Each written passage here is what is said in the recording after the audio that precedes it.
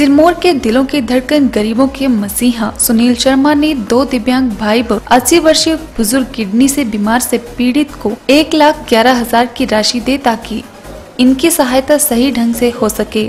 आपको बता दें कि दो दिव्यांग भाई कोटका पंचायत के पुडला गाँव के निवासी हैं, जिसमें से एक सोनू दत्त की ना तो दोनों बाजू है और ना ही टांगे। आज भी माँ बाप अपने हाथों से दो वक्त की रोटी खिलाते हैं। यही नहीं, उनका दूसरा छोटा भाई संदीप के बाजू और टांगे हैं पर काम नहीं करती आज भी बूढ़े माँ बाप अपने दोनों बेटों का और अपना जीवन यापन करने के लिए मजबूर हैं। यही नहीं, ये एक गरीब परिवार है जो दो वक्त की रोटी के लिए मोहताज है। ऐसे परिवार की सहायता के लिए पहुँचे अंतर्राष्ट्रीय अल्ट्रा मैराथन धावक सुनील यही नहीं, उत्तराखंड के दुनीचंद, जो कि पिछले कई वर्षों से स्तोन में अपना गुजर बसर कर रहे हैं। उनकी सहायता के लिए भी सुनील शर्मा आगे आए और बीमारी में सहायता करने के लिए एक लाख ग्यारह हज़ार की राशि दी गई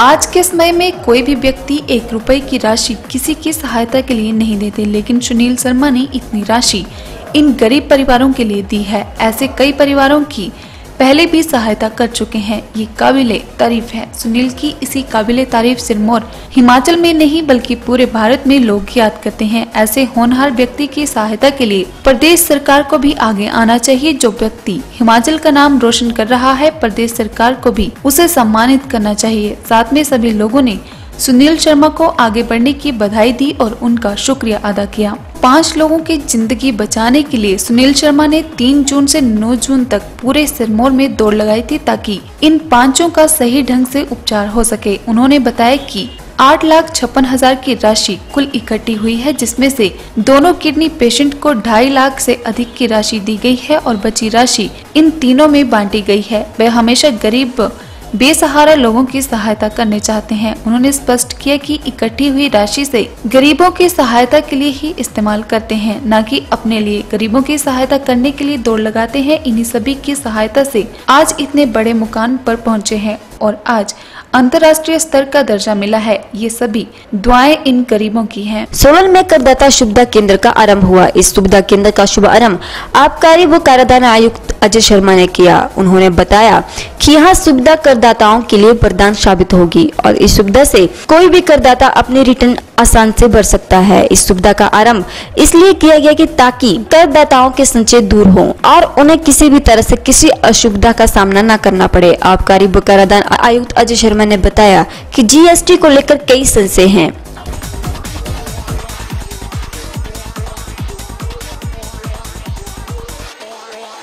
और उन्हीं संशय को दूर करने के लिए करदाता सुविधा केंद्र का शुभारंभ किया गया, उन्होंने बताया कि शिमला, मंडी और बिलासपुर में यहाँ केंद्र खोले गए, ये केंद्र खोले जा चुके हैं। सोलन में ये चौथा केंद्र करदाताओं की सुविधा के लिए खोला गया है, उन्होंने बताया कि जल्द ही ये केंद्र प्रदेश के सभी जिलों में खोले जाएँगे, जहाँ किसी भी स्तर का व्यापारी रिटर्न से जुड़ी कोई भी सुविधा ले सकता है और ये सुविधा सभी के लिए पूरी तरह से निःशुल्क है।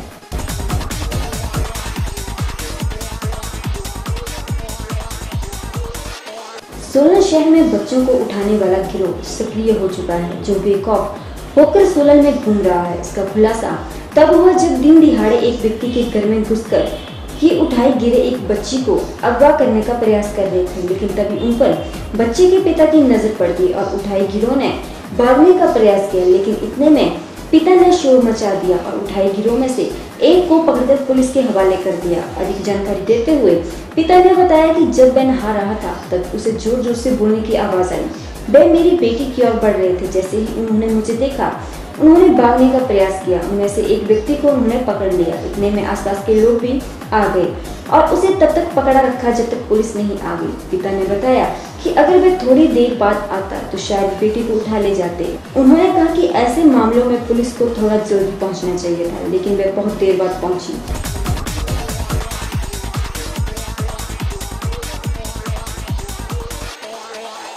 विश्व विख्यात शक्तिपीठ ज्वालामुखी मंदिर में श्रवण अष्टमी नवरात्रों में लाखों श्रद्धालुओं ने ज्वाला माँ की ज्योतियों के दर्शन किए और माँ का शुभ आशीर्वाद प्राप्त किया। आपको बता दें कि ज्वालामुखी मंदिर में छठे नवरात्रे को हज़ारों श्रद्धालु लाइनों में लगकर ज्वाला माँ की ज्योतियों के दर्शन किए और हवन कुंड में श्रद्धा की आहुतियाँ भी डाली और माता के जयकारे भी लगाए इन नवरात्रों में श्रद्धालुओं की सुविधा के लिए पीने के पानी की जगह जगह पर व्यवस्थाएँ की गई हैं। पुजारी अभिनेन्द्र शर्मा ने बताया कि ज्वालामुखी मंदिर में छठे नवरात्रे को कात्यायनी माता के रूप में ज्वाला माँ का पूजन किया जाता है और कात्यायनी माता का पूजन करने से कुआरी कन्याओं को अच्छे बल की प्राप्ति होती है। ज्वालामुखी मंदिर एक शक्तिपीठ है।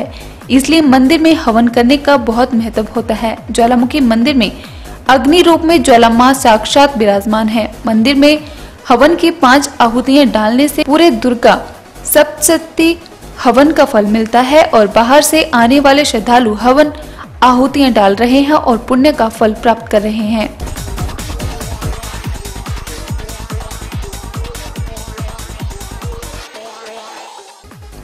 पंजाब से आए हुए श्रद्धालुओं ने बताया कि ज्वालामुखी मंदिर में नवरात्रों में ज्वाला माँ के दर्शनों के लिए आए हैं और माँ के दर्शन करके उन्हें बहुत आनंद आया। उन्होंने बताया कि प्रशासन की तरफ़ से पीने के पानी की व्यवस्था व गर्मी से बचने के लिए पंखे लगाए हुए हैं।